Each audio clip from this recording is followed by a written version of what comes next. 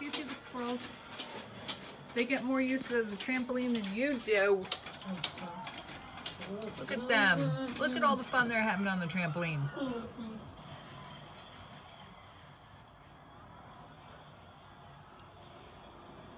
They are pure evil. That's little Gus and little Jus. Gus and Jus.